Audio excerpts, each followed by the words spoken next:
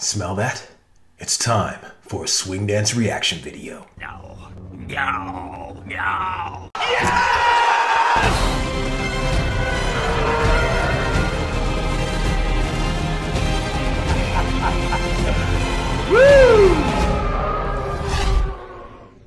Greetings and salutations. Welcome to Street Smart Swing. My name is Jamin Jackson, also known as the Galactic Swing Dance Umpire, and I am super excited to be scrutinizing another Lindy Hop competition. This is from Dark Blue Swing Exchange solo finals competitions. You guys know how I feel about solo finals. I love it. So let's get right into it. And here we go. Let's get right into this one.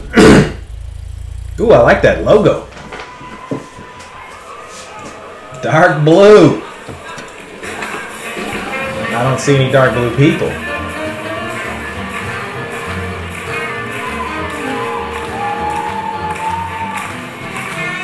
Okay, so this is free for all. Uh, Maybe it's a introduction, but typically, uh, I like these battle formats when they come out in the middle.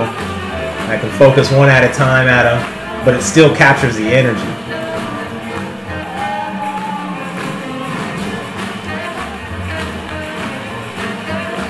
Okay. Bend over to the front, touch your toes. They even do that in solo jazz.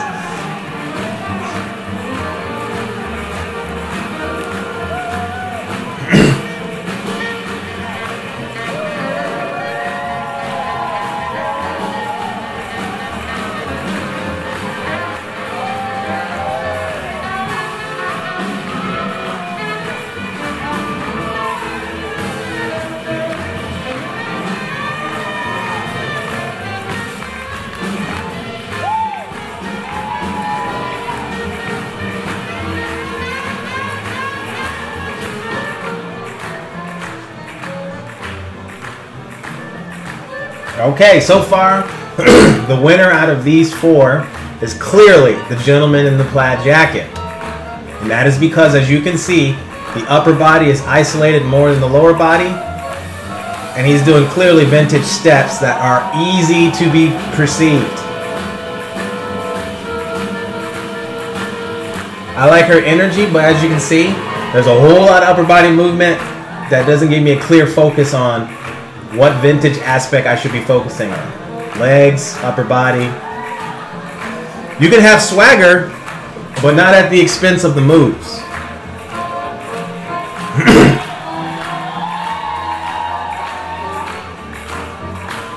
okay.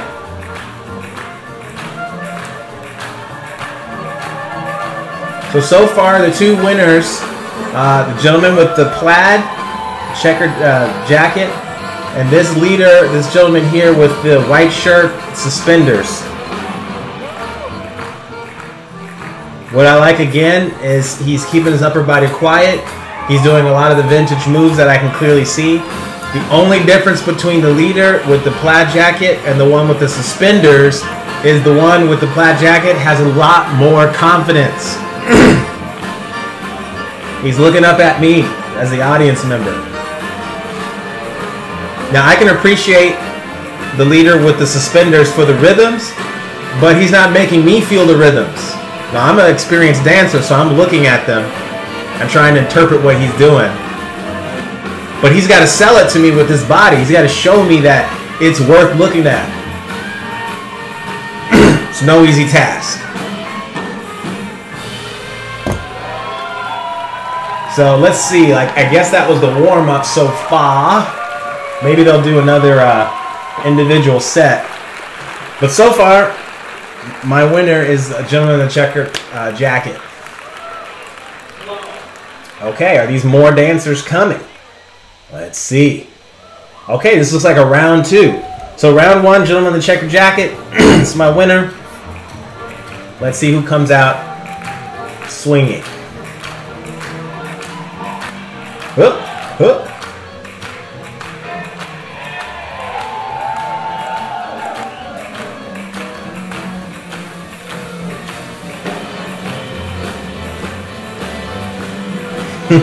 they kind of played around.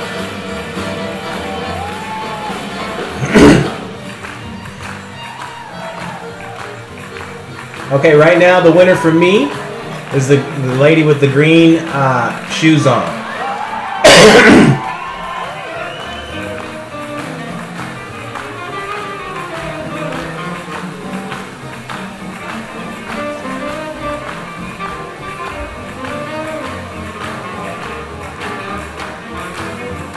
Okay, this lady with uh, this dress on with the red collar, she's also doing a great job with her Charleston. The reason it looks good is because I can identify it as the Charleston and not top rocking, which is a hip hop thing.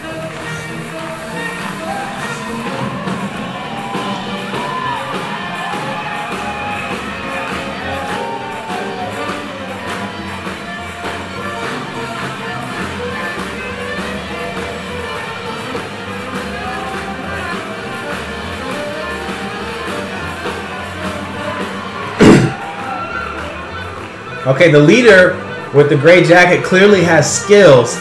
The only thing that's not enchanting is he's not selling me. He's not looking at me at all. As an audience member and as a judge, I don't know why I should look, even though I can respect the skills. So as this one has gone along, I really uh, would say the winner for me is between uh, from both sets, the gentleman with the gray jacket and the follower with the red collar.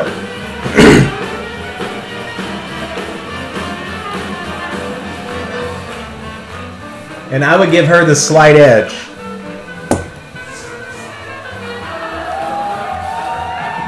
yeah, that was good. That was good. Yeah, improvisation and these kind of environments are really important to me. Because it says, yeah, if you can actually do solo jazz, it's not all pre-programmed to present to me in this nice, perfect package. And that's not how the jazz music was created. It was improvised in many cases.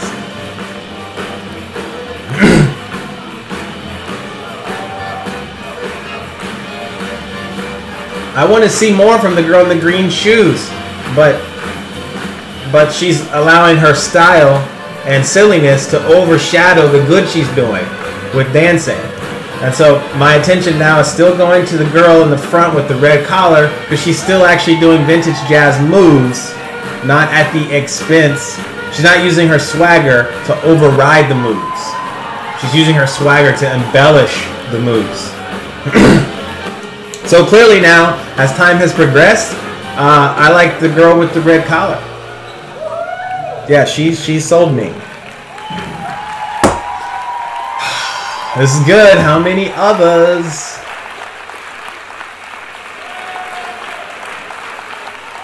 That's good. Some friendly competition. No one's like threatening to harm each other. Okay, so let's look. This looks like it is the finals, uh, possibly, or like maybe like a semifinal. So let's see what happens.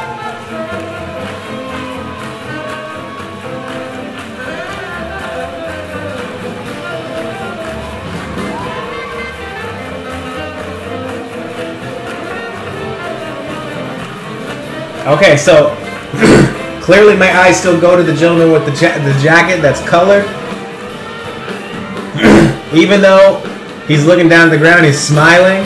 I see that it's part of his style. But clearly I can see the jazz moves. Lower body is moving more than the upper body.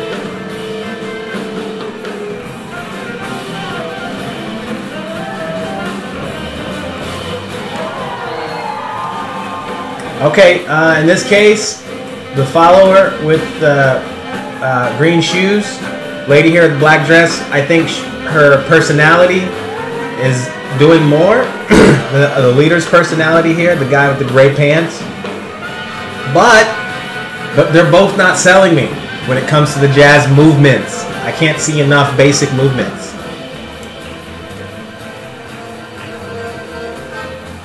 Okay, this is leader again. In the jacket, I see Charleston. I see fancy footwork. I see swagger and personality. I see campiness, which is not necessarily something everyone has to do. But I see the consistency of his personality uh, complement the jazz movements. He's not doing too much of his personality and not doing enough of the jazz movement. So I like him. He's my winner.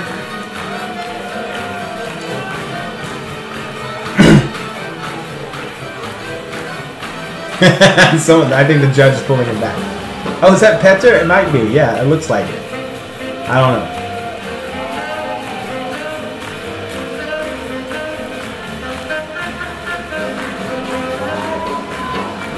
Okay, even the silliness, I can still determine the winner, even in the silliness. Just look at the upper body, and you can see it. If the upper body is moving too much, it doesn't look as vintage. For whatever reason, I can't explain that. It's just what it is.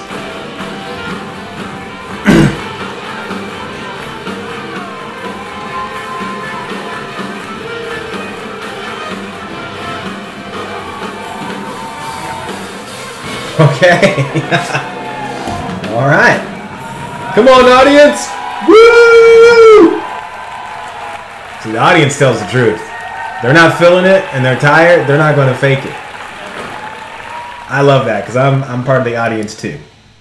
So, what does this competition mean to me? Uh, as if I was judging it, which I was judging it, uh, I clearly have to go straight to those things in solo jazz that are not subjective. And those are those elements that actually make it look solo jazz. So I explained to you all many times in order to make your movements look as if they're from the 1920s through the 40s, you'll have to isolate your upper body. And that's because of the tap influence of that particular time as dance forms begin to shift later, you know, late 50s, 60s, 70s, 80s, and all the way to today, you start to see a gradual transition from the focus on the lower body to the upper body doing a lot more movement. So if a person can dance and they can't isolate their upper body, I immediately take, take points off of them because they, they clearly cannot see why their movements would look a certain way to match uh, the vintage time period. That's just a, a deeper understanding that a lot of dancers will understand after they put in the hard work to get really good at it. They may not be able to explain that's what it is, but some kind of way they chisel away all that movement and they quiet down this upper body. So when I'm looking at this, there is a clear winner, folks. There is a clear winner when it comes to this objective part of solo jazz. And that goes to the gentleman with the gray jacket. He had checker jacket. I knew as soon as I looked at him that he was different from the other dancers. And if you really think about the comments I made in regards to isolating the upper body, you too will be able to analyze what I said from that lens and see, ah, that's right. That that's why it looks a certain way. Now that way of what it looks like is vintage. That's what I'm looking for is a solo jazz, vintage, authentic, vernacular jazz style. And so that's the first thing I go to. So clearly no one else came as close to that leader uh, in doing that. he was the leading dancer. So all of my judgments stopped after that. I'm not looking at uh, their energy level. I'm not looking at what they actually chose to do in terms of their movements with the music, because that's important to me also. But I didn't look at any of those additional judgment attributes that I would cling to if it were a bit more competitive. I just didn't have to do that. And that's kind of great for me as a judge. I don't have to pay attention as much. But it's not good for dancers to not know why I was just simply ignoring you. And that's number one, I got to see the quietness of the upper body. If that's there, you're at least in my top three. Top two, top three have those particular qualities that are prominent in their movement. Second thing I like to look for is timing with the music to see if you can match many of your moves with the most loudest phrases in the music. And that tends to be the transitional eight count. The four eight counts, you've got those three as the build up. The fourth one is that transitional one. And typically, if a dancer is doing something different, it stands out. Because honestly, I want to hear the music and I want to see the dancing match so that both are amplifying each other. It's not just the dancer taking away from the music or the music just making me pay attention to it because the dancing is not as good. I don't, I don't want that. So if a dancer can do the control part and they have the timing part, it really helps. That's usually second place. And the first place person definitely has the style, the swagger, the creativity, things that we haven't seen before, uh, the confidence, those those other areas that you have to look for. But as I said, I don't necessarily even have to go there if the control part of the competition hasn't been established uh, well with the dancers. And that leader, I don't know his name. Let me know his name in the comment section. But he crushed it. He was the just got out there and he killed doing the vintage style so that if I looked at his silhouette, I would know this isn't a gimmick. I know he was probably a vintage dancer. And I like that. So, anyway, uh, what do you guys think about this competition? Who do you think should have won this competition? Am I just simply delusional for telling the truth and giving you a reason why I judge a certain way? Because you know, us judges have a way of judging. But unfortunately, you don't get a chance to know what that is. You just get to be scrutinized and judged. And then typically we'll go into our room and prepare for classes, and you just simply never know.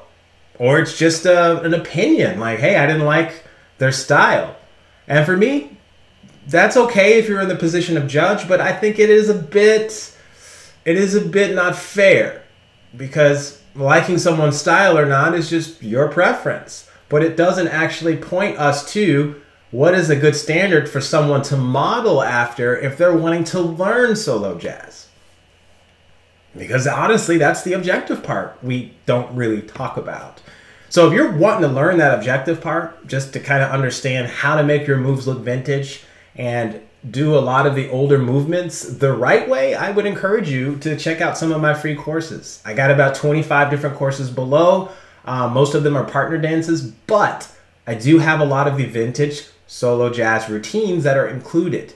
Not just the vintage ones, but I also have some modern routines that are focused on the vintage style that were created from other teachers so that you can get a chance to practice and make your movements actually look like they fit the time period because there is a reason why some people win more than others.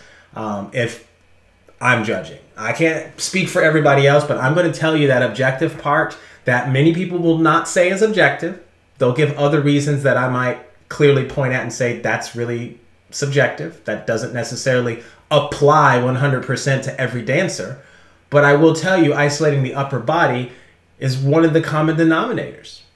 If you understand how to do that, you're just going to be in a different league when being judged by uh, professionals. So there you have it, guys. That's my opinion. Let me know what you thought about this competition in the comments sections. I actually thought it was really fun. I didn't see anything that was extraordinarily different, but I did see one solid dancer for me that respects the art form enough to master knowing the way it should look and not losing his personality in the midst of that. So, with that said, guys, let me know what your comments are in the comment section.